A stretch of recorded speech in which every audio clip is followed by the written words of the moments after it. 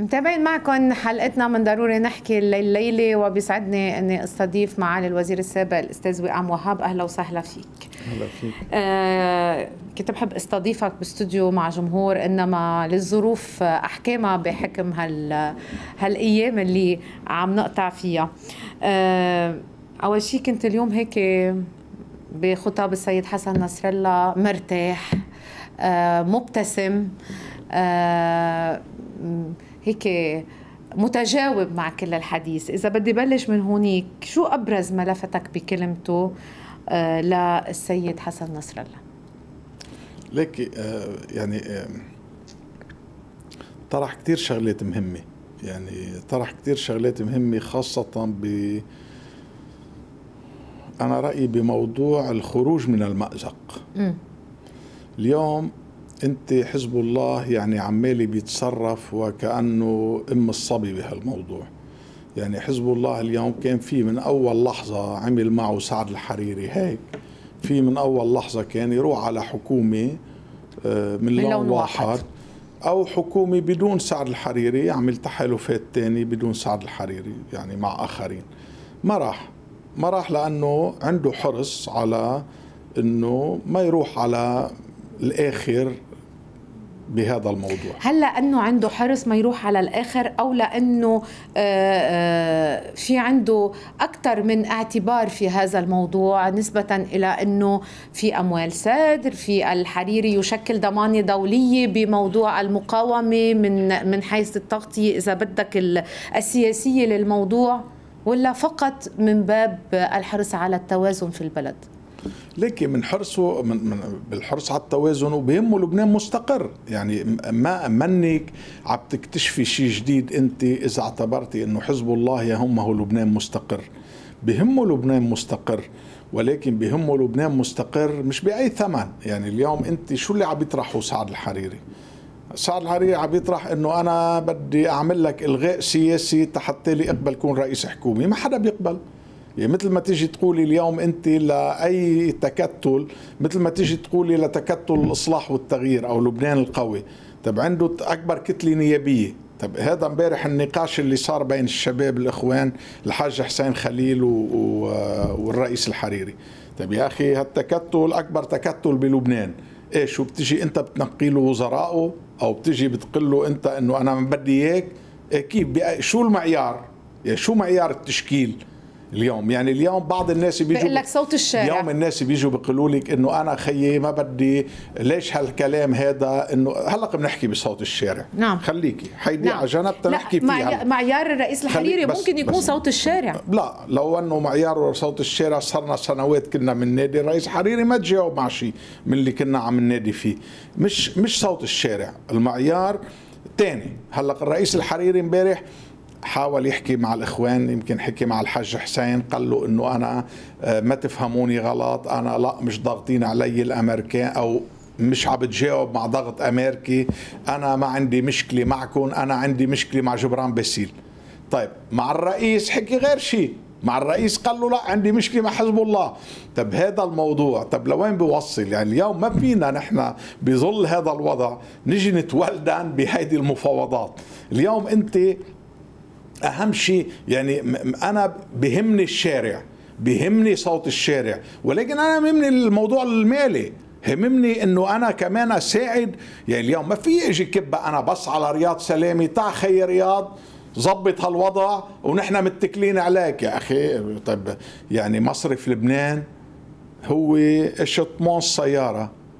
يعني بس خلينا نصلح السيارة مش نضلنا ليش عم يدخن الاشطمون لأنه الموتور رايح اللي هو الدولي رغم انه يعني رغم إنه يقال إنه الرئيس الحريري على تنسيق كامل بالموضوع المالي مع حاكم مصرف لبنان ما وهو ما بكفي إنه ينسق معه ماليا بده يعطيه ورقة بإيده. يعني اليوم انت اليوم المسألة نفسية. داليا. يعني اليوم ليش الناس عمالة بتهجم بدها تسحب مصرياتها المسألة نفسية. إيه، هلأ ما في مشكلة. يعني نعم. أنا بدي أقول لك شغلة.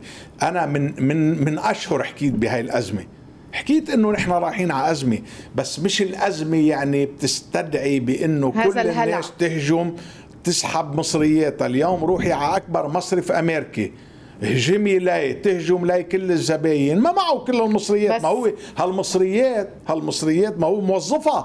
منا هالمصريات موجودة بجيبته بالصندوق مخبيها بيجي بيعطيك إياها. ما هو موظفة عند مصرف لبنان هو مدين الدولة هو مدين السوق هو حاطط برا. يعني مختلفة المسألة. بس أستاذ وئام بالنهاية هيدول الناس صار في لهم تحضير من قبل على موضوع إنه البنوك بدها تنهار صار في هذه الإشاعات في أزمة. البلد. مش إشاعة. أنا أحكي أنا يعني أحكي. العالم بدي تحضرت بدي شغل تحضرت أول واحد تصير أول واحد مصرياتها وتعبها بتذكري وقت حكيت من أشهر. طبعاً. وثاني يوم هجمت الناس على البنوكي وحكيت من أشهر قلت رح تفيقوا الصبح. رح يقولوا لكم ما في مصاري هلا بالبنوكي. لأنه عارف أنا واصلين لهي الأزمة. ما بدي غش الناس. بس هلا كمان بديش غش الناس وقل لها انه مصرياتكم راحوا. لا مصرياتكم ما راحوا. ما راح يروحوا مصرياتكم. بس طولوا بالكم بهاي الأزمة. ما ضروري أنت طب أنت إذا حاطط هالحساب بالبنك حاطط هال 20 ألف دولار بالبنك. طب منه ضروري اليوم تيجي تاخذ كل يوم 2000 دولار؟ ما أنت لك ثلاث سنين مش محرك حسابك. ما حطيتهم ال 20 ألف دولار ومستغني عنهم. طب خليك هلأ. نعم. يعني فهمتي وين القصة؟ يعني اليوم الهجمة إيه انهجمت كل الناس؟ ما فيها تعطيها البنوكي بس ما ضروري تهجم كل الناس. اليوم عم بيعمل إجراءات كويسة اللي عمله المصرف. اليوم يعني مثلا يعني انت أهم إجراء إنه يع- تعطي يعطي 20% فايدة لل- للمصارف. يعني هذا أهم إجراء. هاي ش... أول وثاني شيء أنت بتروحي بدك تدفعي السند. بياخذوا منك البنك على السعر الرسمي. مش بده ياخذوا على السعر السوق. ما بيقول لك ما عندي دولار. لا إذا عندي سند أنا بدك تدفع لي إياه. بدك تعطيني اياه؟ يا بعطيك لبناني أنا بدك تعطيني اياه بسعر ال- الرسمي. طبعا أستاذ وئام يعني هيك بما إنه بعدنا بالحديث المالي. طب كيف ال كيف السيار في فجأة صار عندها هذه الكمية من ال- من الدولارات والبنوك شح عندها هلا عندها الدولارات أول شيء أول شيء أول شيء بطريقة اول شيء صار أول شيء صار لأنه حزب الله بعتقد بعت رسالة. عرفتي كيف؟ كب 40 مليون دولار بالسوق وبعت رسالة ل... بعتقد بعت رسالة للأمريكان وعم بيلعب مع الأمريكي مش عم بيلعب بعت رسالة للأمريكان إنه خذوا أنا مني بالنظام المصرفي. ليش عم تعاقبوا النظام المصرفي؟ يعني قصد يقول ليش عم تعاقبوا النظام المصرفي؟ أنا مني فيه. وقال السيد اليوم هو منه بالنظام المصرفي حزب الله ما له علاقة بالنظام المصرفي. يعني أنا علي عقوبات اليوم.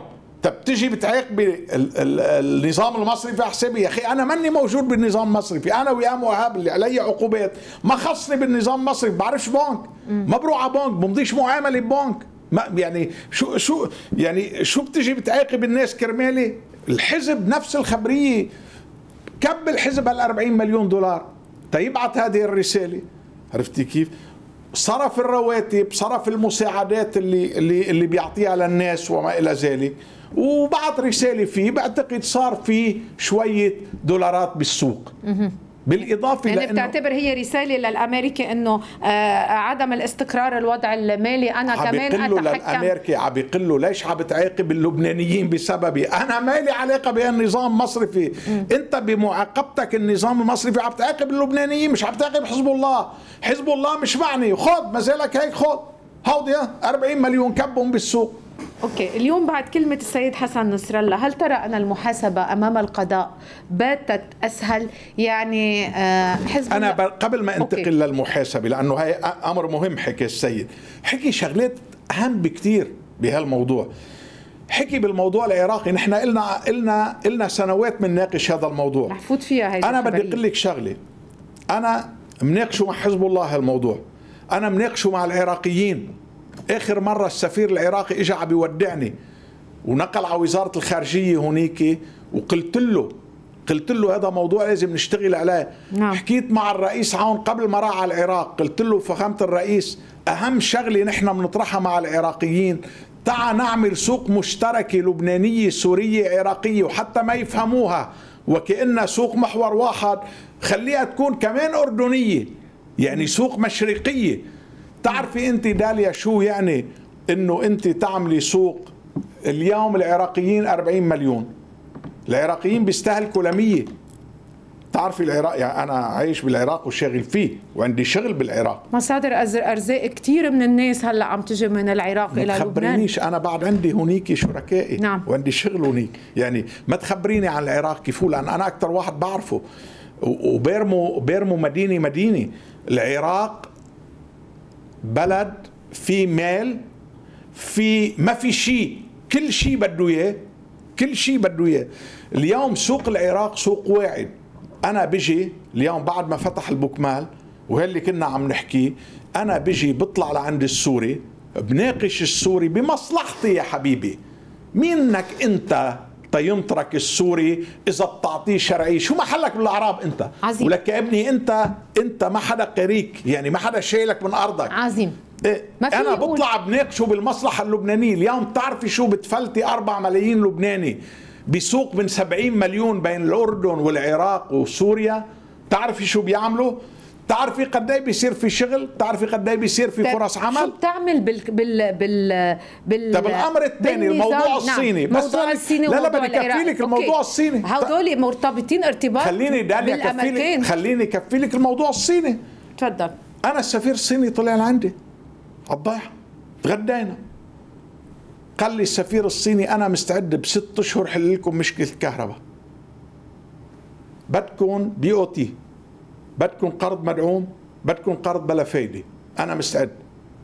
وعلى فكرة أنا من من شي حوالي شهر بيجيني شركة صينية بعتي عرض على سوريا. كنت أنا وسيط بعتهم على سوريا. بعتي عرض على سوريا. إنه هي مستعدة بين الخمسة مليار والعشرة مليار دولار. مشاريع الصورة طرق ماي كهرباء اللي بيحددوه السوريين.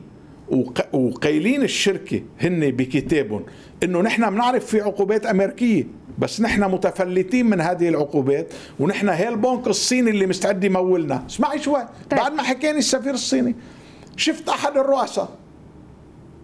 قلت له يا رئيس بدناش نقول لك إذا دولة الرئيس أو فخامة الرئيس أحسن ما تعرفي مين. واحد من اثنين. قلت له يا فلان السفير الصيني كذا كذا كذا. قال لي طيب ما بيعرضوا علينا الصينيين بس بخلونا الأمريكان. طيب بدي أسألك سؤال. طب هودي لا بيرحمونا ولا بيخلوا رحمة الله تنزل طيب، علينا؟ طب. يجوا يعملوا لنا الكهرباء؟ هذا هذه بين فتحة العراق وأنه هذه الحكومة إذا إجت من لون واحد بطلع على سوريا أول وكنت أول قرار أخذته أني أطلع على سوريا هذا ما قاله السيد حسن. وبين قصة الصين نحن في هذه في عقوبات أمريكية بت- بتقدر تطالنا في حال هذا. حصل هذا الشيء. طب نحن كيف بدنا نحمي حالنا في حال رحنا إلى هذا الموضوع للآخر أستاذ وئام؟ يا أختي بدي أقول لك شغلة. هل هي كمان صنارة مثل بدي بدي- زتت بدي- زتت طعم لحتى نشوف كيف بدنا. نلتم بدي حواليه. أقول لك شغلة. الأمريكي عنده مصالح بلبنان ونحن فينا نأذي له مصالحه. ما في الأمريكي يستمر بالحصار علينا هيك. طيب بدك تستمر بالحصار علينا ما فيها شيء. خيي بعت لنا جنرال موتورز. تعمل لنا هي الكهرباء. تعمل لها هي الكهرباء. وعلى الطريقة الصينية. انت تحاسب معها عرفت كيف؟ تطلع أرخص. يا أختي انت طب ما- ما كمان يعني اليوم أوكي كويس بيعطي مساعدات للجيش. بس نحن بنعرف هو كيف عم بيفكر بهذا الموضوع المساعدات. بس باستثناء المساعدات هو ما بيعطي شيء. بيعطي للزعرني مساعدات تانية بيعطي للزعرني للجمعيات اللي بتتزعرن بلبنان واللي بتحاول تخرب بلبنان. هاي الجمعيات المعروفة اللي بيعطوها هن عرفتي كيف؟ بس غير هيك الامريكي ما بيعطي مساعدات بلبنان. طب أنا طب أنت شو شو مفكر هو؟ يعني يعني اليوم طب أنا الإيراني. تعرفي أنت اليوم في شركات إيرانية بتشتغل بالخطوط الكهرباء.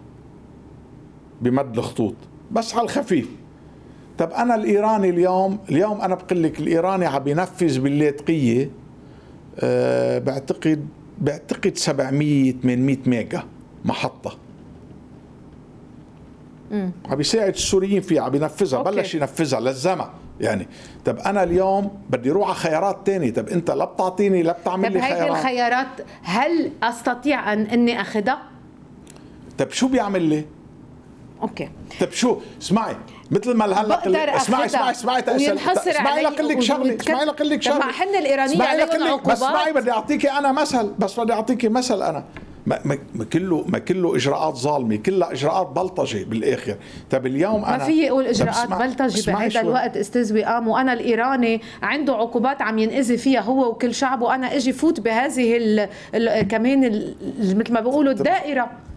طب طب أنا إذا بدي هدد واحد بقول له بدي أخرب لك بيتك. طب إذا بيته مخروب بشو بدي هدده يعني اليوم أنت بعض الناس اللي عم بيطرحوا إنه آخر الدواء الكي هيدا اللي عم بتقول إيه طبعا. لا الرئيس الحريري نحن عم نقول إذا إذا سكرت الخيارات. في خيارات. اليوم الرئيس الحريري طب بتقولي أنت إذا ما اجى الرئيس الحريري بيعملوا علينا عقوبات. طب ما كان الرئيس الحريري رئيس حكومة. وكان بواشنطن بعد كم يوم من ما اجى من واشنطن سكروا بنك. بدون أي مبرر. سكروه بدون أي مبرر. لا في حسابات لحزب الله ولا بيشتغل معه حزب الله ولا له علاقة في حزب الله. عنده 80 ألف زبون البنك اليوم بعد حساباتهم معلقة هودي الناس. طب وكان الرئيس الحريري رئيس حكومي؟ وين منع عنا العقوبات؟ طب وقت اللي سكروا اللبناني عندك الكندي. عندك صادر هلا أكثر شيء أكثر شيء مسكين فيه إنه لا لازم الرئيس الحريري يرجع لسببين. أول شيء لأنه بيمثل أكبر كتلة سنية آه وهو بموازاة رئيس الجمهورية ورئيس مجلس النواب. وثانيا لأنه هو مرضى عليه دوليا. وإذا رجع الرئيس الحريري فينا نجيب آه، مصريات سادر اللي ما بعرف إذا في طرح تاني إنه نحن فينا نطلعهم من الأموال المنهوبة إذا فتنا هلأ يمكن هلأ بي... أول شيء مصريات ساد منه أكيد فينا نجيبهم. يعني ما حدا عم بيأكد إنه فينا نجيب مصريات ساد الأمر الثاني نحن بلد منا فقير نحن بلد منهوب. مم. بس نحن بلد معنا مصاري. نعم. يعني نحن بلد بكم إجراء بنعملهم اليوم؟ فينا كثير نجيب مصاري. عظيم خلينا نبلش من الموضوع. من المحاسبة أمام القضاء. باتت أسهل وقت اللي حكي عنها اليوم السيد حسن نصر الله وبلش بنفسه. وهذا يعني كان لا هيك ملفت لا للنظر ما صارت أسهل. لا أبدا. لأنه ليه؟ السيد حكي معنا قبل الانتخابات مم. وحكي معنا بعد الانتخابات وشرح السيد. وقارن بينها وبين اللي بيجي بيقول لك إنه يا أخي أنتم بتحاربوا إسرائيل أنتم بتقرروا تهزموا إسرائيل أنتم هزمتوا الإرهاب أنتم حاربتوا بسوريا. ولا ما فيكم لهالكم فاسد؟ لا ما فيهم لهالكم فاسد لأن مزبوط مثل ما شرح هو المعادلة هون مختلفة عن هون. هونيك شرح الموضوع هو ومعه حق فيه بهداك الصراع في إجماع لبناني بهداك الصراع في إطلاق يد بهداك الصراع فيك وسائل وسائل الضرب مختلفة. اليوم بهذا الصراع على موضوع الفساد طب مختلفه القصة. طب اليوم بمين بدك تبلشي يعني بتبلشي بخليهم ما بلش فيه يعني بخليهم بتبلشي داليا مثل ما عم تعمل بعض محطات التلفزيون أو بعض وسائل الإعلام تقعدي بتجلدي صغار الناس هيك هي هي محاربة فساد أو قلة شئم قليلة. لا بسيط يعني بسيط, بسيط لا لا لحظة لحظة شوي كل لحظة. واحد عنده يمكن طريقته كل, كل واحد عنده طريقته بس كرامات الناس منا ملك حدا. منا ملك حدا. كرامات الناس منا ملك حدا.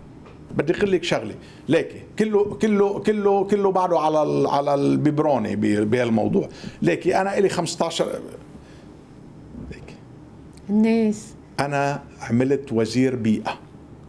عندي كان أخطر ثلاث ملفات هن سكلين. هلأ كمان رح أسألك عنها بس كثير عندي أسئلة لك هن الكسارات والمرامل وهن معامل الترابي وكل المعامل الثانية اللي عمالة بتضرب البيئة. نعم. ليك خلي واحد منهم واحد يجي يقول لي إلي عليك مستمسك هالقد خلي واحد يجي يقول هيدي الماي شربتها حساب الدولة. أنا أنا نزلت عملت وزير حسابي سفرني مرتين عمر كرامي حسابي. حسابي. يراجعوا. يراجعوا السجل يراجعوا المحاضر. عظيم. فت على الاجتماع. لا لا لا هول شغلات لازم تحكيهم تعرفي شو فرق بين الناس؟ شو الفرق بين عمر كرامي كرئيس حكومي؟ شو الفرق بين غيره؟ مين غيره يعني؟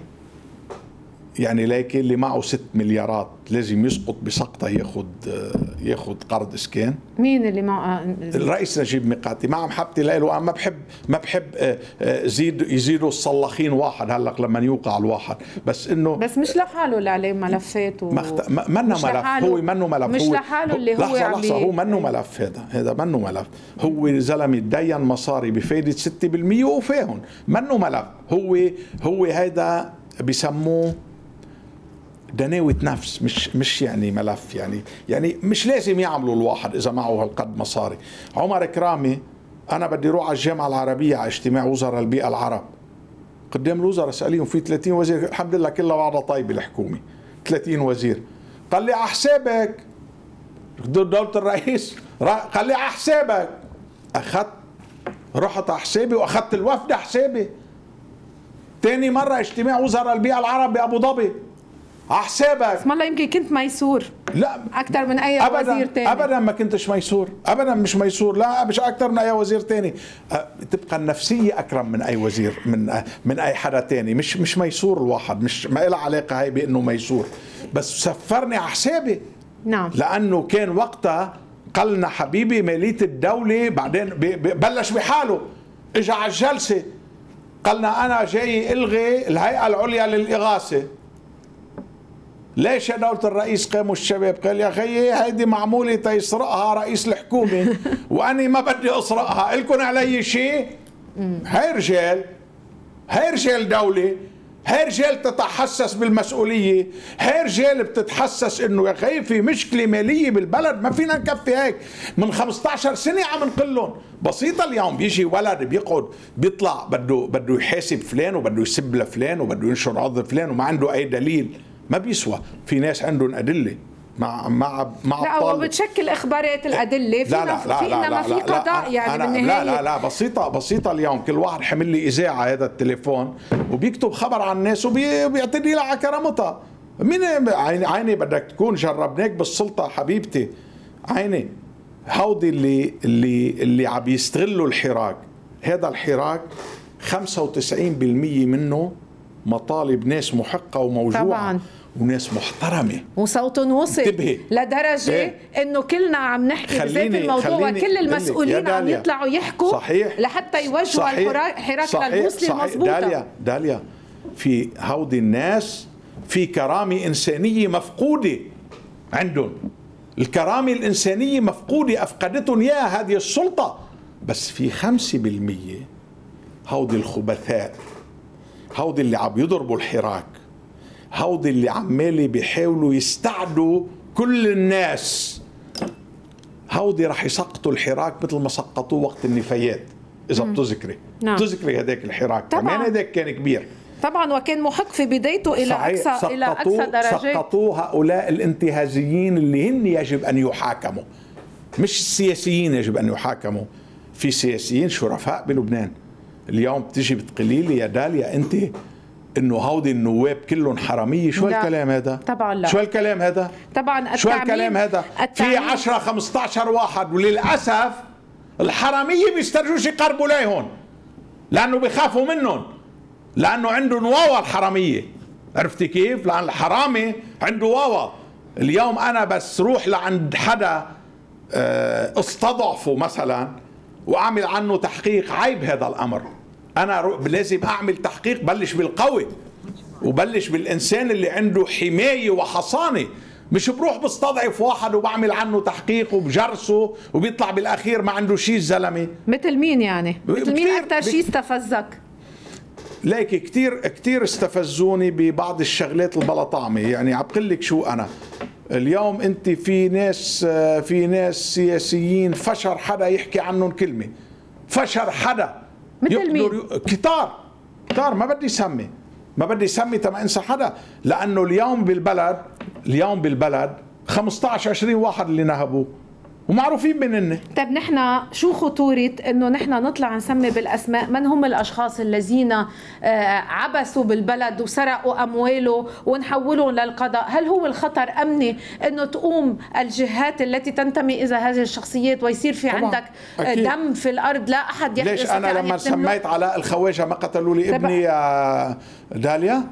ليش أنا شو عشو عشو استشهد محمد بودياب شو في خلاف أنا وسعد الحريري على قطعة أرض يعني بي وبي وكانوا مختلفين. لماذا هذا التصويب دائما على علاء الخواجه لأنه كان هو رئيس العصابة حبيبتي.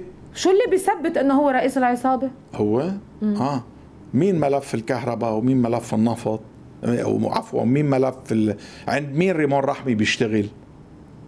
دائما تصوب بهيدا الاتجاه. لا يا أختي كيف بهيدا الاتجاه؟ هيدا الملف عندك بإيديك ملفات عندك بإيديك. يا حبيبتي يا عزيزتي حضرتك يا عزيزتي اسمعي رح اسمع اسمعي. عم بسمع بس بدي كان بس بدي في. شركة يونانية. كان في شركة يونانية اخذة معمل دير عمار مزبوط يا ندى البستاني أو مش مزبوط إن شاء الله تكون عم تسمعني. عم تسمعك. من ثمان سنين من ثمان سنين لزموا دير عمار. كان جبران باسيل وزير طاقة. التزمته شركة يونانية. أوقف تنفيذ دير عمار ثمان سنين. بالحكومة الماضية آخر جلسة بيتهرب بالمحضر ها تلزيم رضائي لعلاء الخواجة وريمون رحمة لدير عمار بالتراضي. مين بهربوا؟ اسأليهم للي كانوا بالجلسة. مت... مين بدي أسأل؟ هلا شوفي مين الوزراء كانوا ما أنا نسيتهم الحكومة الماضي أنت عارف. مين, مين كان الوزير؟ الحكومة الم... مين كان كمان؟ أمين عام مجلس وزراء كمان قالوا إنه غير بالمحضر. ما بعرف شو. سهيل ما بقى لا بوش... كان الله يرحمه الزلمه هلا نعم. صار ميت. لا ما غيره يمكن واحد بالوكالة كان يومي ما شو فيهم مين اللي كان؟ 30 وزير بس كانوا يحكي موجودين. بس يحكي وئام وهاب عن هيك ملفات. وبالمقابل بيطالب إنه يكون أخذوا الملف اخذوا هالزلمه الملف. طيب مين اللي جاب محمد شقير وزير؟ ما, ما هو حكيته من سنة ونص أنا يا داليا. مين اللي جابوا وزير؟ قبل ما يجي محمد شقير وزير قلت لهم للبنانيين يا أختي مشكلة ذاكره أرنب عند الناس. قلت لهم جاي محمد شقير وزير هاتف. مهمة محمد شقير بيع القطاع. اللي جايب محمد شقير مش سعد الحريري جايبه علاء الخواجة. ما هذا حكي لإلي. طيلقوه من الارشيف يا أختي من سنة ونص. طيب بعتوا لي المعلومات. تقتلوني وبالقوة بعتوها عرفتي كيف؟ يعني بعتوا لي تيفتحوا اشتباك معي واقتل أنا مش محمد. طيب صار اللي صار. مين بيحميك في في كذا مليار. يعني اليوم ببيع القطاعات في كذا مليار.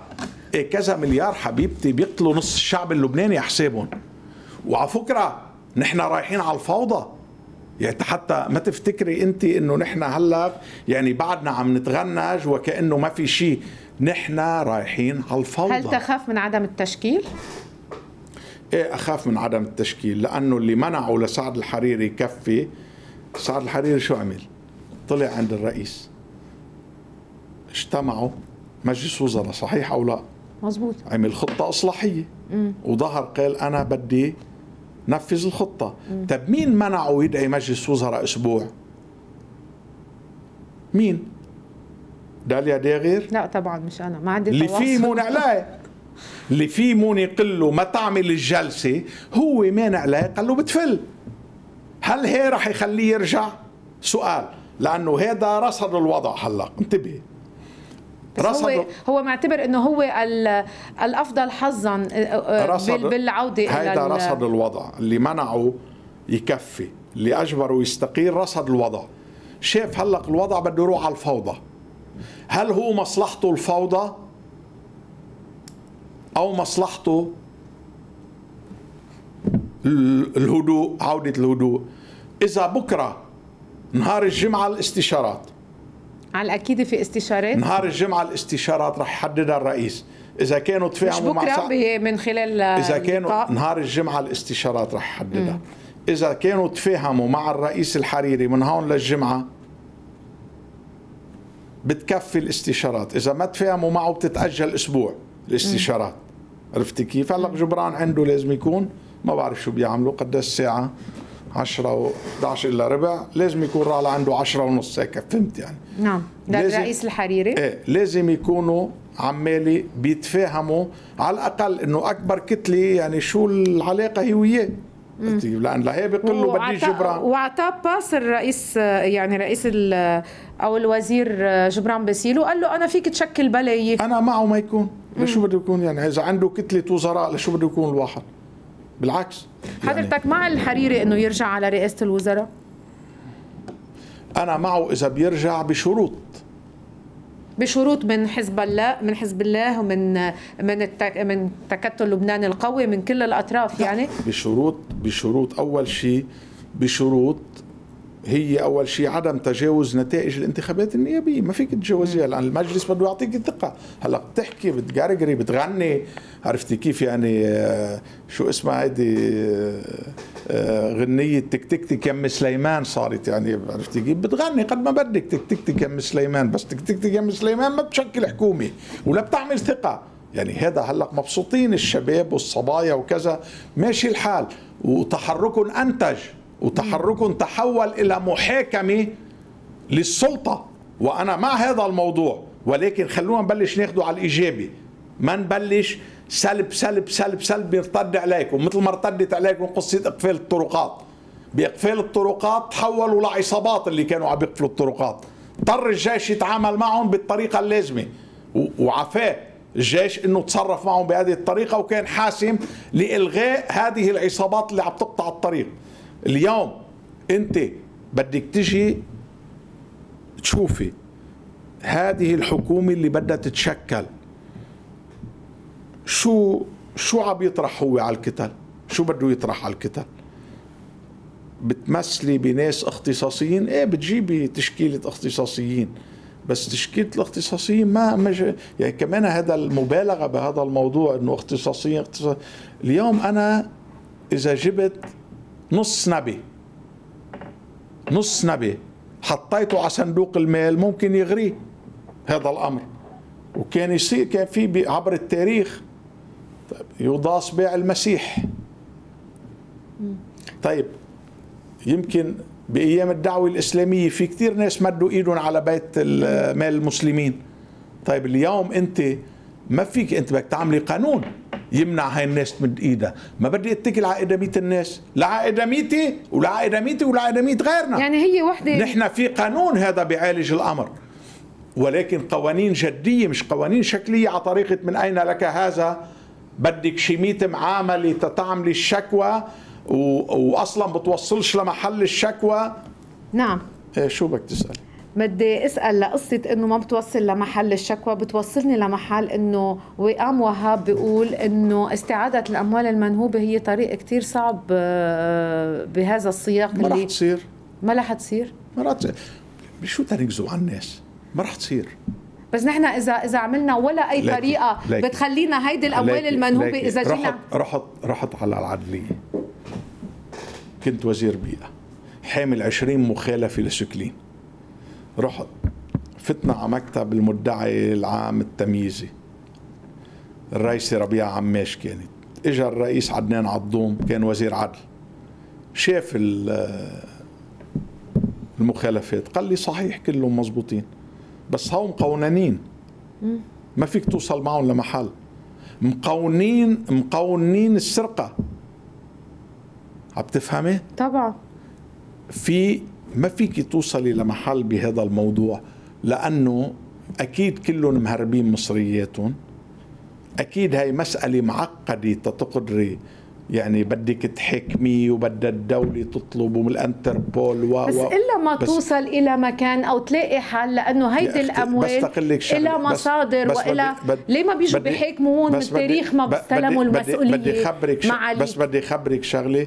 كيف بتحاكمي هودي يعني مثلا إذا واحد آه، زعيم وطني ها أيه. إذا زعيم وطني مثلا مشورتين عم بيو شيء ومعه خمسة مليار شو بتعملي فيه؟ من وقت من تاريخه بيجي بيلحق له مصرياته وبقول له من دون مين بده يلحق؟ اذا إذا بس أنت مصدقه فينا نعملها؟ طب لحظة هو هيدي اللي فينا نعملها أنا بحب هي نحن فينا بس خليني بس أسألك. سؤال هيدي اللي فينا نعملها هي كمان اللي بتخليك وقام وهاب تحمل كل هالملفات ولا مرة تقدمت بملف على القضاء لأنه ما فيك تعملها مش مزبوط ما تقدمش كيف ما تقدم؟ شو بك؟ ملفات فيها فساد طبعا إيه وصلت لمحل. شكيت على سكلين ودائما بتحكي ملفات فساد غير طبعا سكلين يعني. شكيت على سكلين. هاي شكوى رحت عملت شكوى شخصية. امم وصلت الأمر لمحل؟ الثاني لا ما وصلت لمحل لأنه مقونن السرقة. مم.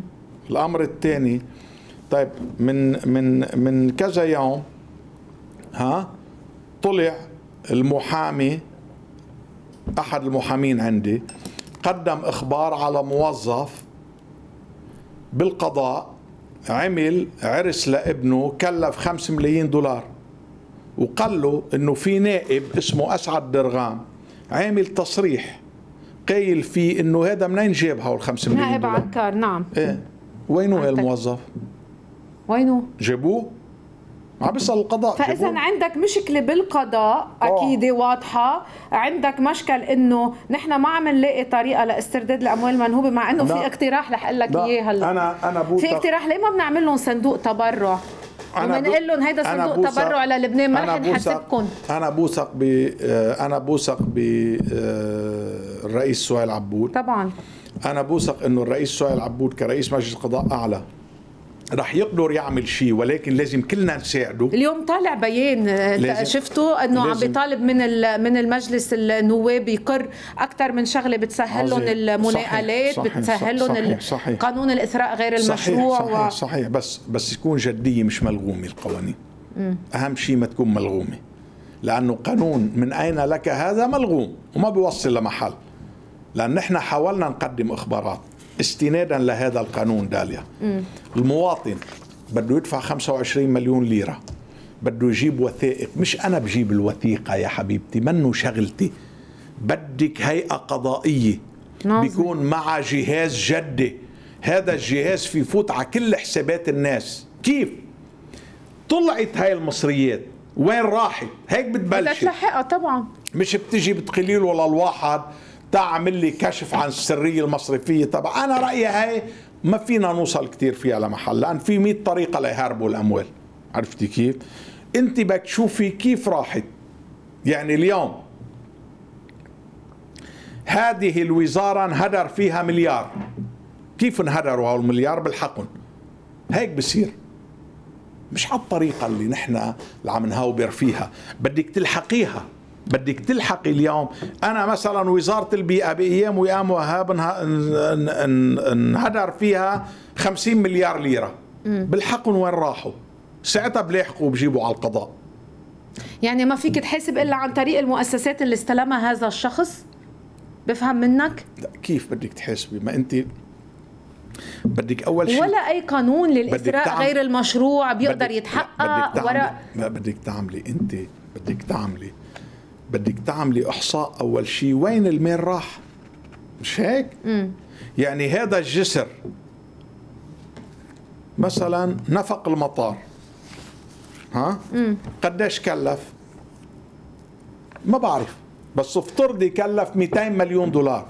هل هذا النفق بكلف 200 مليون؟ إذا بكلف 50 بدي أجيب مين لزم ومين التزموا مش هيك ببلش ال- كيف ببلش التحقيق؟ طبعا هيدا الشيء بده قرار. هذا. تحقيق. حتى لي ما نحن نجي نعلم القضاة كيف بدهم يعملوا. نحن لازم نعمل لهم القوانين. ها؟ وأنا بوثق فيه هذا الرجل اللي اسمه سؤال عبود اليوم. بتجي نوثق بسؤال عبود نوثق بغسان عويدات نوثق بفلان نوثق بعلتين بس لازم نساعدهم. عرفتي؟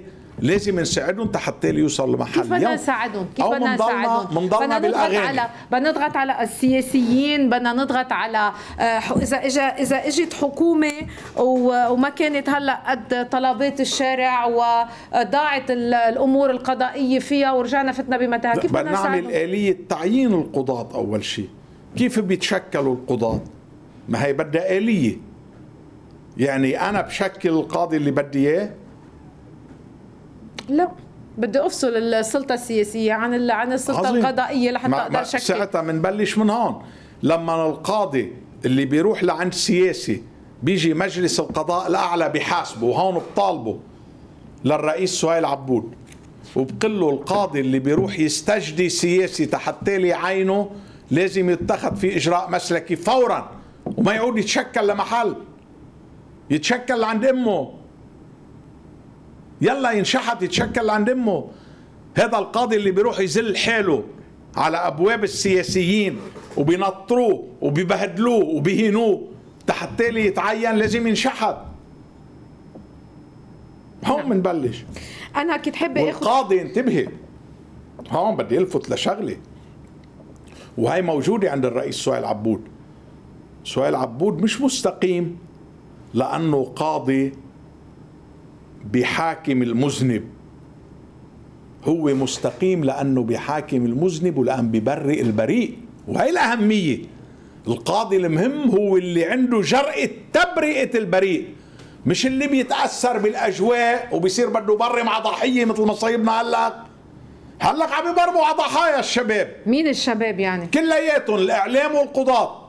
مين القضاة يعني ما بتقصد القاضي غادة عون عم تبرم على ضحية؟ لا غادة لا حرام إدمية غادة لكن منين القضاة اللي عم غادة غادة غادة أي شيء بحكيكي عم بحكيكي بمسار قضائي أنا. أستاذ لأن اليوم لما جابوا رقي شوي علي. لما جابوا المساعدين القضاء لما جابوا المساعدين القضائيين وحولون عند بعض القضاة هذا قابض خمسين ألف وهذا قابض مئة ألف رشوة وهذا هذا الفساد يعني. هذا هو؟ هي هو؟ وطلع في منهم بريئين يعني. هي هو. مثل ما عم بقول لك أنا. اليوم أنت بدك تجيبي قضاة يملكون جرأة يعرف من أول جلسة إنه هذا الزلمة بريء. وأنا ما ضميري ما بيتحمل إنه وقفه تأرضي الإعلام وتأرضي بعض السفلة اللي عم يبرموا هون وهون وبيفوتوا بنص التظاهرات. تيهينوا الناس وكرامات الناس. تعرفي انت أنا بعرف متعهدين. عم يبعثوا متعهدين عم يبعثوا موظفين عندهم. لأن نحن عندنا ناس بالحراك. ونحن عم نعرف شو عم بيصير بالحراك. في متعهدين بيبعثوا ناس عندهم يرفعوا يافطات ضد متعهدين اخصامهم بالساحة. هديك اليوم كمش هو واحد منهم. مين بعتك؟ طلع بعته متعهد تاني. وموظف عنده بعته تيدفع بي... شو هالكلام هذا؟ شو هالمسخرة هاي؟ شو هالمسخرة هاي؟ لوين عم ناخذ الحراك؟ لوين عم ناخذ المطالب المحقة للناس؟ عم نشيطنا. بكل حراك بالعالم بصير في تشيطن لإله. المهم الناس تعرف تاخذ تاخذ مطالبها للمكان المناسب وما تسمح لأشخاص تانيين. لما بدك تاخذي مطالبك للمكان المناسب أنت بتحددي ملفات. م. يعني أنا بيجي بقول اليوم عندي أسبوعين للكهرباء. أنا رح ضلني بالساحة ورح ضلني أضغط عليكم بتشرفوا بتعملوا اجتماع لمجلس الوزراء. بس يصير فيه مجلس وزراء. بتقروا خطة كهرباء خلال أسبوعين وفيهم يعملوها خلال أسبوعين. خطة شاملة للكهرباء بدكم تقولوا لي بالتاريخ. ايمتى بتلزموا وايمتى ببلشوا التنفيذ وايمتى بتخلصوا وإذا بتكذبوا بأسبوع بدي مسح الأرض فيكم هل ما زلت تلوم الوزير باسيل على موضوع الكهرباء؟ بشو؟ أنا ما لمتم بلا لمتوا أكثر من مرة بقصة البواخر قبل وكذا طبعا. أنا أنا أنا ضد موضوع البواخر. أنا م. ضد موضوع البواخر. بس موضوع البواخر ليش حسيتك عم بتحبه كثير للوزير بصير مؤخرا هيك؟ بحسك محيده ليكي مش لا ليكي. جبران باسيل بدي سلم معك أنا حرامي. أنا ما قلت هيك ما تسلم معي. لا بدي سلم معك ك... ك... كناس جلدوه أنا نعم. ضد الجلد. مم. أول شيء أنا ضد الجلد. ثاني شيء لو جبران باسيل بس يقعد بالبيت تنحل المشكلة بلبنان ها؟ كنت أنا بقول له اقعد بالبيت. لكن لماذا هذا الاستهداف المصوب على جبران باسيل خليني كفي. بدك تخليني كفي. سالتين سؤال خليني كفي. أكيد. okay. داليا أنت صحفية بتسألي وبتاخدي جواب وبتبني عليه. أنا اليوم بدي أحسب جبران باسيل من وقت اللي اجى الرئيس ميشيل عون رئيس جمهورية مستبيح كل شيء. طيب يا شباب اللي له 30 سنة مستبيح كل شيء ليه ما عم تحكوا عنهم؟ لأن جبران ما بيقتل هوديك بيقتله كثير مهم المعادله لأن جبران ما عنده ميليشيا. هوديك عنده ميليشيا. استحوا بقى. استحوا بقى. حج نستضعف الناس. حج نستضعف الناس. أنا سلمت معك عبقلك. جبران مستبيح الدولة. رغم إنه أنا فتشت له على ملفاته وما كمشته. وأنا قلت له هذيك المرة. قلت له بوجهه. قلت له ليك. أنت أو بندوق كبير أو كلمة كبيرة. قلت له أو يعني حمار كبير. خلي أنا بهالقصة حمار.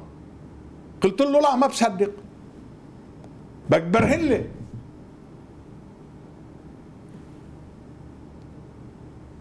قعدنا حكينا بملف الكهرباء. أنا بعرف مين عم بيعرقل ملف الكهرباء. ملف الكهرباء مش من هلا ملف الكهرباء عمره سنوات القصة. عرفتي كيف؟ طيب. ملف الكهرباء انمنع بإنه ينفذ طيب. لعدة أسباب. في أسأل هيدا السؤال. إيه. إنه أنا بس كل مرة حدا بيقول لي أنا بعرف مين معرقل الكهرباء وجبران باسيل بيقول أنا بعرف ما من قلت هو أنا ما هذا قلت المين؟ لكش هيك. أنا دافع دم بهول معارك شو قصتك؟ مين عمل معركه ضد قاسم حمود؟ واللي حامين قاسم حمود شو قصتك؟ أنا اللي بحب هلأ إنه صارت الأسماء عم تذكرها شوي- بكثير روقي شوي- بكثير روقي ريحة. شوي- روقي شوي. شفت الانتفاضة شو ما؟ مشكلتنا مع هذا الدب عماد عثمان مش من يا معقد قاسم حمود. لك يا خلينا- لحظه لحظة شوي. أنا عم بحكي ما بحب أنا. أي. أنا بحكي على مسؤوليتي إذا بتريدي ما بتدخلي بس باللي بحكي أي. ما بتدخل بأسئلتك دخليش باجوبتك إيه بس لا ما بتدخل ما تدخلي بأجوبتك. بأسئلتك ما بتدخل أنا بأسئلتك أحترم كل تتدخليش الأشخاص. بأجوبتي أنا بقوم. بفل إذا بتدخلي بأجوبتي لا ما عم بتدخل باجوبتك. بس أقل أنا حر أنا يعني. حر أوكي. حر باللي. بالوصف اللي بعطيه للواحد لأنه اللي بيستاهل الوصف بعطيه أنا يا عيني وقت اللي عملت المعركة مع قاسم حمود اللي رافض يسلم المعملين بالذوق وبالجية ما كنت تسمعيني كنت اسمع ما رفعوا أكتر. ضدي وشتموا لي أهلي بمجد العنجر وطلعوا الشباب ليهن وصارت وقتها قصة ال- ال- المتفجرة وما المتفجرة وكذا.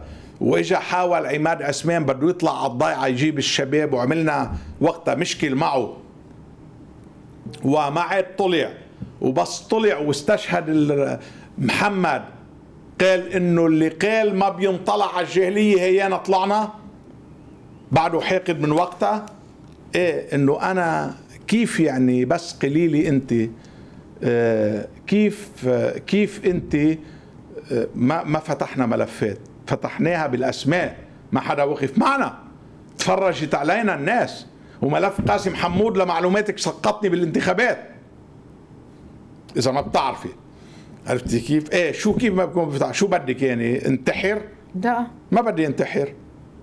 ما بدي بدي انتحر. تكفي للاخر بديش حتى. توصل ل لا أنا لآخر- حكي ل- لا لا عملت اللي. علي عملت اللي علي هلا خليهم هن يعملوا بالصحات اللي عليهم بسيطة. أنا قدمت أكثر من أي حدا ودفعت أكبر ثمن. خليهم يدفعوا أثمان الناس كمان. خليها تحس الناس إنه في أثمان بتدفعها تتغير. مش هيك بتغير. مش هيك بتغير. أنا لا ولا مرة جهلت الفاعل. أنا عملت معركة ضد ناس موجودين وعملت معركة قاسية وما حدا وقف معي أبدا بهاي المعركة. لا بالمعركة ضد قاسم حمود فخامة الرئيس وقف معي وقتها. كان بعده بالرابية وبجزء من الملف كمان فهمته منه وقتها. لأنه وقتها قصة الشركة الدنماركية والنصب الصايرة بالشركة الدنماركية فهمته من فخامة الرئيس. طيب هلا على سيرة فخامة الرئيس. آه كتير الشارع يطالب فخامة الرئيس ويحمل مسؤولية التأخ- التأخر بعمل الاستشارات والملزمة. ليكي- ليكي، ما هي جزء- هيدا الشارع كل يوم بيسأل ذات السؤال وبيقول لك إيه الرئيس عم بيعطل والرئيس ما عم يسمع نداءات الشعب والرئيس آه، آه، ما بده يمشي البلد. والبلد على حافة انهيار. ما هي بإطار الجلد تعطيني ما هي بإطار الجلد في مجال تعطيني بس هيك توجيه الفاجر. بياكل مال التاجر. ما سامعة فيها المثل؟ الفاجر بياكل مال التاجر.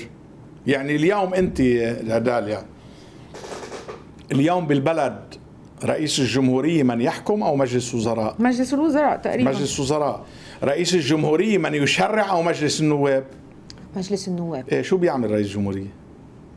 لديه صلاحيات معينة. شو هن كبلته من صلاحيات؟ بعد سمي لي. هن أنت. هلأ استشارات ملزمة. شو؟ بس بيقدر يعمل استشارات ملزمة لأنه هلا. بيقدر يعمل استشارات ملزمة ممنوع.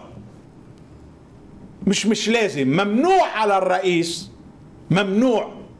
وبقله بيكون عم يرتكب خيانة هو. إذا عمل تكليف قبل الاتفاق بانه التأليف. لازم يصير في حكومة خلال أسبوع. حد أقصى. هي اللي عم يعمله الرئيس. بس ما فيوش يعطيه حد أقصى للوزير لا للرئيس مش الر... وهو كمان فيه يعطي حد أقصى الاستشارات كمان الدستور ما بيلزمه. لا الدستور بيلزمه إنه يحدد مهلي للاستشارات ولا الدستور بيلزم سعد الحريري أو الرئيس المكلف بإنه يكلف يشكل بأسبوع. ولكن الأخلاق بتلزم والواجب الوطني بيلزم واللي بهالوقت ما بيحس بواجبه الوطني وبيروح يستقيل لأن ضغط عليه لا أنا ما بأمن له ما بأمن له أنا كلفه بده يجي يلتزم إنه أنا خلال أسبوع بشكل مش يروح ياخذها تسعة أشهر مثل ما مرت الماضي عملها. لا ممنوع على فخامة الرئيس يكلفه ممنوع يعمل استشارات. قبل ضمان التأليف. طيب في حال لم يصل مع الحريري ويروح يتضب اللي بده غير هيك. في حال لم يصل مع الحريري إلى أي تسوية معينة أو في في موضوع التأليف هل وئام وهاب لديها أسماء غير اللي طرحها الأسبوع الماضي؟ ممكن إنها تلاقي التوافق نتيجة مجريات هالامور اللي عم بتشوفها. أنا شو طرحت؟ طرحت أسامة سعد. أنا طرحت اسمين طرحت عبد الرحيم مراد طرحت أنا طرحت فيصل كرم. أنا طرحت أسماء. تجربوا بالسلطة وما نهبوا. أنا طرحت أسامة سعد لأنه أسامة معروف نظافته. أنا طرحت عدنان عضوم لأنه عدنان عضوم كان بأخطر محكمة تجارية وطلع من السلطة عدنان عضوم من 15 سنة. حدا استرجى يحكي عنه كلمة بموضوع الفساد؟ كلمة كلمة. كلمة أنت بتعرفي ثاني يوم بس يطلع الواحد من السلطة ببلشوا فيه طيب أنا طرحت عبد الرحيم مراد لأنه عبد الرحيم مراد إنسان معطاء. وعبد الرحيم بيعطي ما بياخذ عبد الرحيم الله أنعم عليه وصار عنده ظروف بالحرب عمل مؤسسات بنى مؤسسات مع الوقت تطورت واليوم عبد الرحيم لكلنا بلبينا بموضوع التعليم. عرفت كيف؟ وشبعان وما بيمد إيده على مصرية الدولة. فيصل كرامي كان بيو وبيو أنا بشهد له. وهو اجى عمل وزير شباب ورياضة كمان ما حدا بعتقد قدر حكي عنه شيء. فأنا عم بطرح أسماء نظيفة.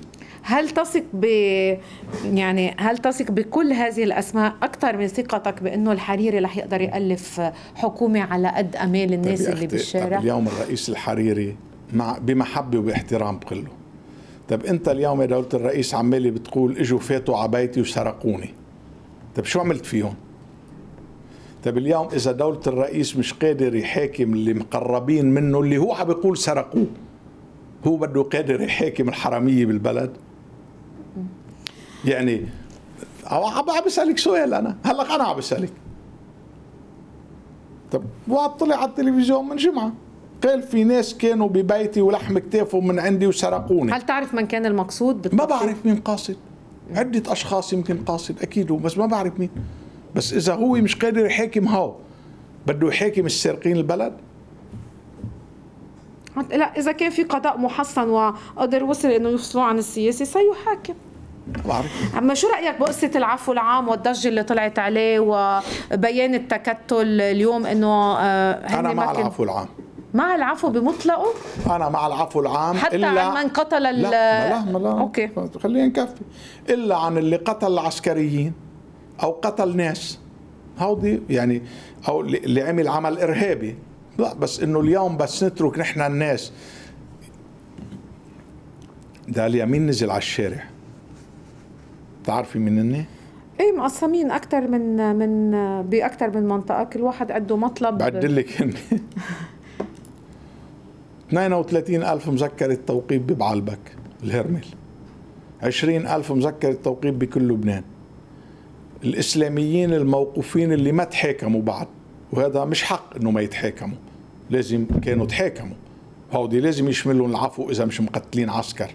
حرام واحد على حساب تليفون أو حساب فكرة أو حساب.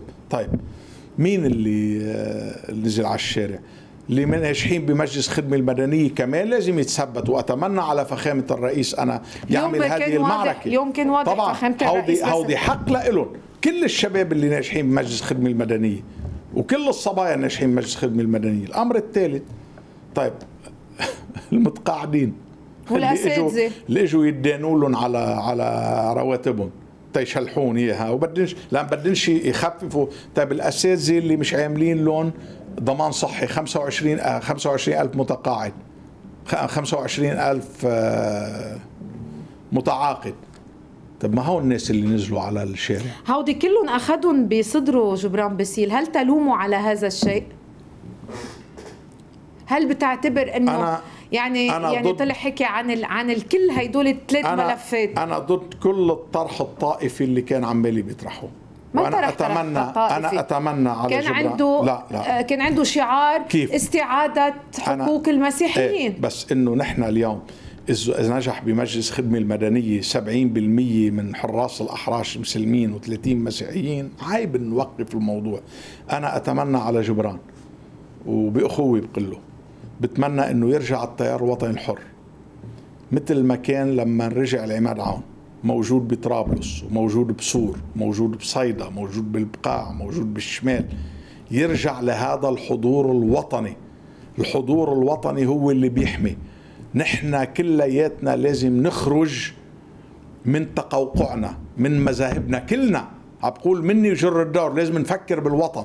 قبل ما نفكر بالطائفة أو بالمذهب.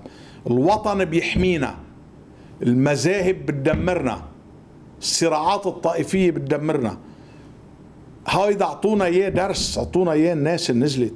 أعطونا إياه الناس سبقونا بهذا الموضوع ولازم نلحقهم بهذا الموضوع.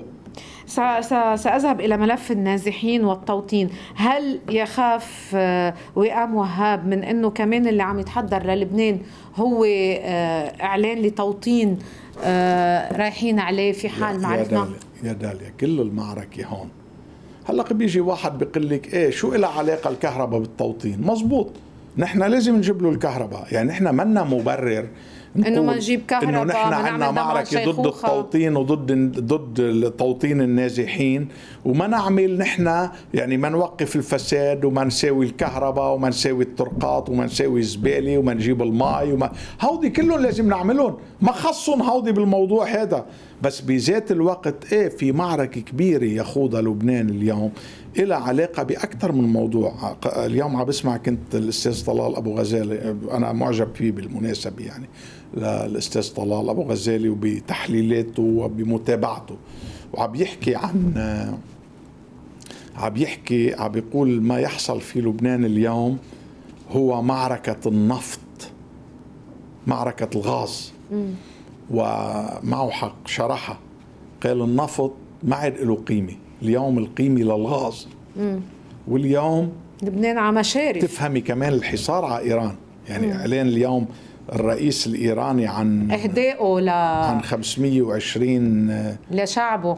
مليار برميل غاز, غاز. نعم. عرفتي كيف؟ اليوم عم بيقول الأستاذ طلال أبو غزالي كان بيستشهد فيه لأنه يعني بتمنى من الكل يسمعوه لأنه عن جد إنسان مهم كتير. فعم بيقول إنه اليوم أهم حوض للغاز موجود في العالم هو بالمتوسط. م. وما يجري اليوم في لبنان جزء من هذه المعركة. إنه الأمريكي بيقولوا وما راح يسمح إنه لبنان يحصل على هذه يعني لبنان وسوريا من وكذا وحتى تركيا وما إلى ذلك. إنه هيك تقش يعني مليارات براميل الغاز ما راح يسمح له. فهيدي هيدي جزء. الجزء الثاني موضوع التوطين ما عاد عم يخبوه. يعني كوشنير عنده خطة. ليكي أهمية ترامب إنه ما عم يكذب أهمية ترامب إنه زلمة واضح شو بده من هالمعادلة كلها. زلمة على تويتر. بس تسمعي بس تقري تقرأ السياسة تبعت العالم بتعرفي شو بده. ف... وبعدين الأمر الثالث الناجحين. الناجحين بدهم يخلوهم هون. طبعا. ممنوع يروحوا على أوروبا. بعدهم عم بيتسربوا على أوروبا. ممنوع يروحوا على أوروبا. ممنوع خلص ما بقى فيها تساعدي يعني يمكن هي ورقه رابحة بإيدنا تسفيرهم على المان على خدي مثل الألمان عم بيتواصلوا مع السوريين إنه هن مستعدين يرجعوا يعمروا قرى. إذا هذا الأمر بيؤدي لعودة جزء من النازحين الموجودين عندهم. طيب أنا قبل ما أختم في سؤال في سؤالين أخيرين أه بدي أستأذن منك إني بدي أخذ اتصال من نقيب أصحاب المستشفيات لأنه في موضوع مستجد نهار وهو موضوع صحي أه كثير مهم. مساء الخير دكتور هارون. مساء الخير لك ولضيفي مساء الخير دكتور. يعطيك العافية. الله يعافيكم. دكتور شو شو شو المشكل المستجد اللي ممكن إنه آه، يوصلنا إلى إنكم ما تستقبلوا آه، عمليات آه، مرضى المستشفيات تتوقف عن العمل نهار الجمعة؟ لماذا هذا التصعيد وبهذا الوقت بالذات بظل هذه الأزمة الخانقة على كل اللبنانيه هي الحقيقة ما أنا مؤقته لحتى تكون مع الازمه الحاليه هذه أزمة صار لها أشهر نحن عم ننبه عليها وهي نقص السيولة لدى المستشفيات. هلأ صار لها مضاعفات إضافية مع التحرك الحالي هو إنه المستوردين اللي بيجيبوا مستلزمات طبية للمستشفيات ما بقى عم بيقدروا يستوردوا لسببين.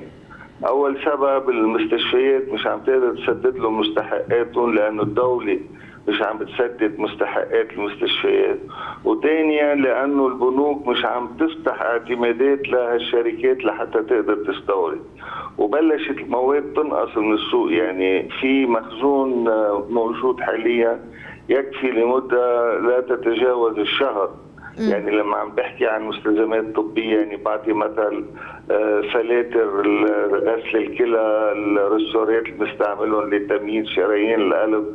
الخيطان بإبر العمليات يعني كل هالأمور هذه اللي هي غير الدواء. نعم. فنحن عم ننبه عليها الشغله انه رح نوصل لمحل هذه المواد رح تكون مفقودة وهذا خطر كثير كثير كبير يعني رح يعرض بالنتيجة حياة المرضى داخل المستشفيات. نعم. مشان هيك عم نطلق الصرخة بالوقت الحاضر على أمل إنه هي هي صرخة يعني هي صرخة انذاريه آه، مثل إنذار آه، ولا حيكون آه، التوقف عن استقبال المرضى كل النهار؟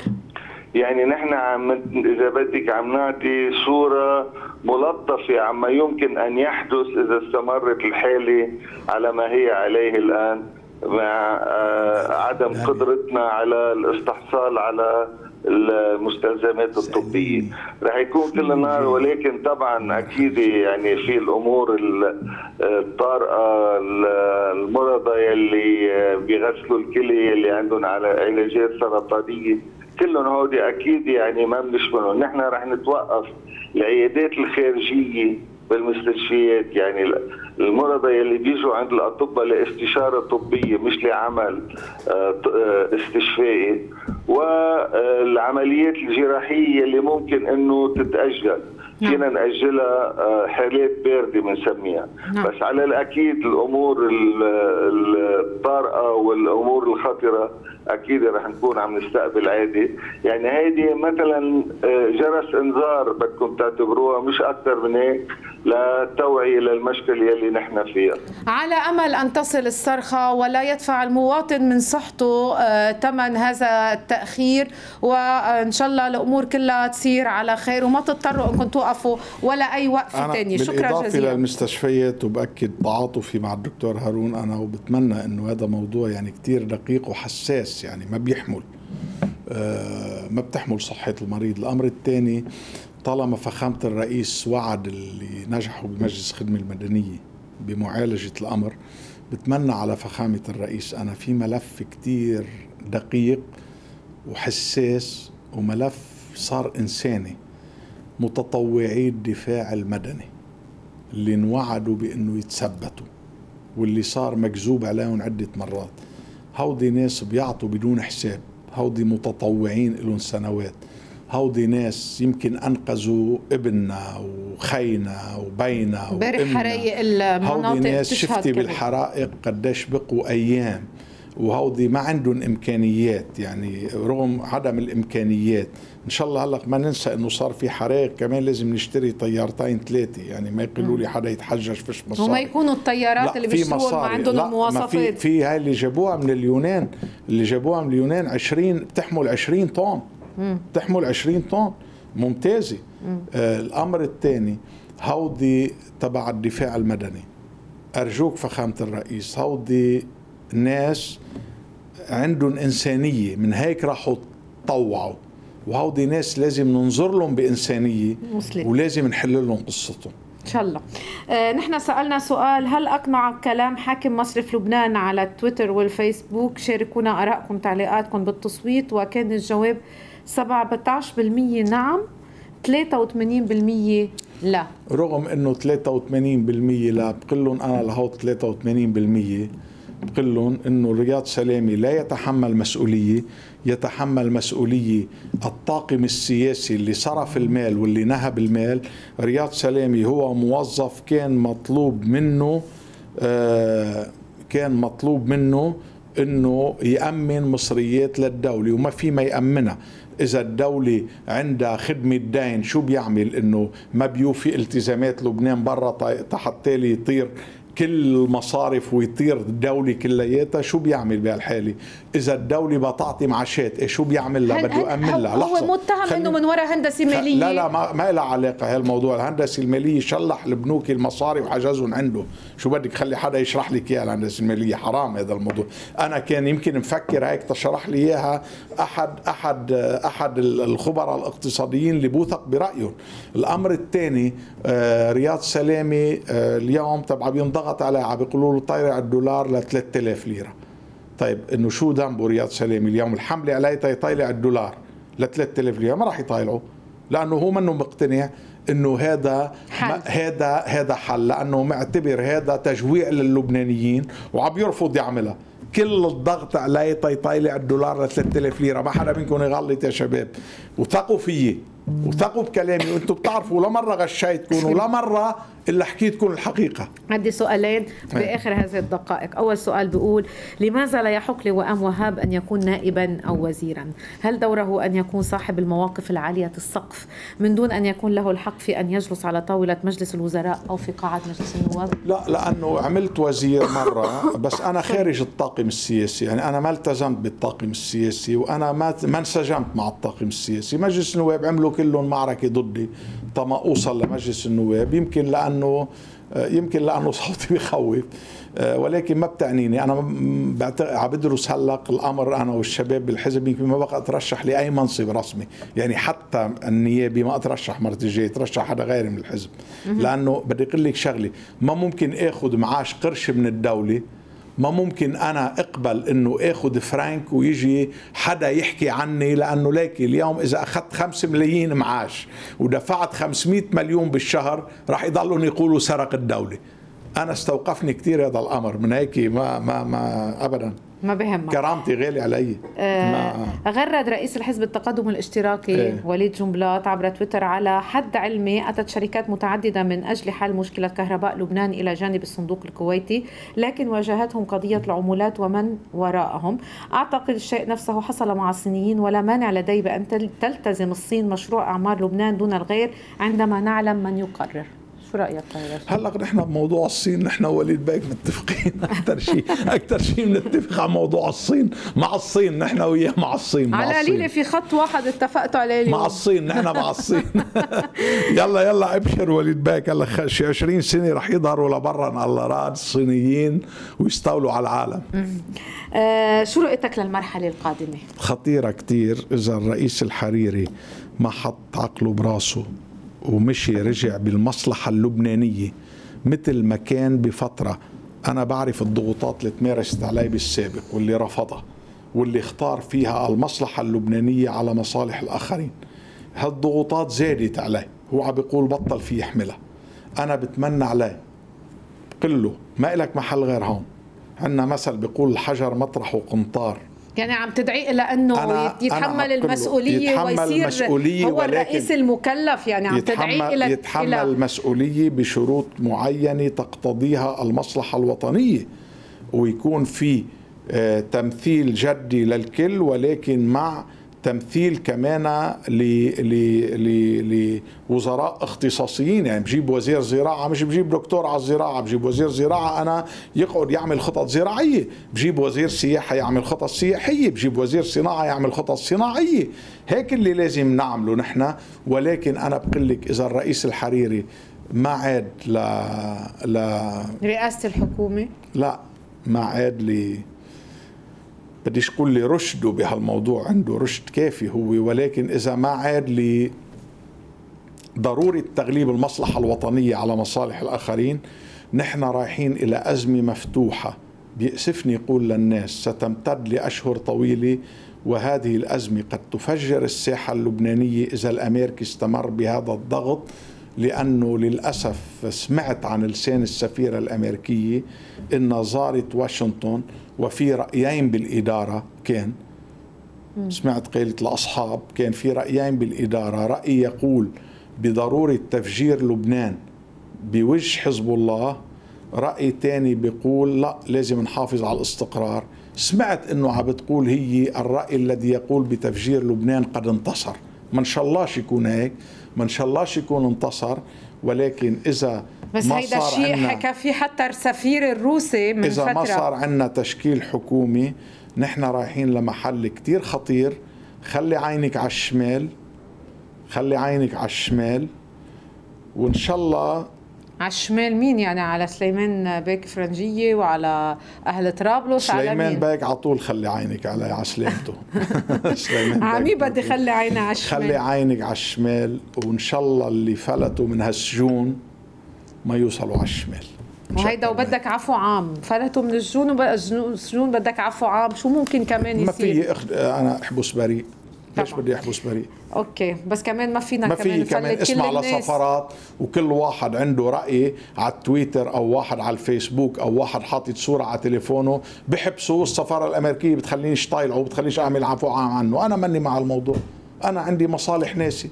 كمان عندنا عندنا كمان عندنا دماء شهداء ما فينا كمان ما حدا قال ما حدا قال ابدا قتلتهم دماء يعني. شهداء الجيش مقدسه ودماء شهداء العالم مقدسه ودماء شهداء الناس سقطت بالتفجيرات مقدسه مش عم نقول عنها ونحن عم نقول على اللي ما عنده ذنب.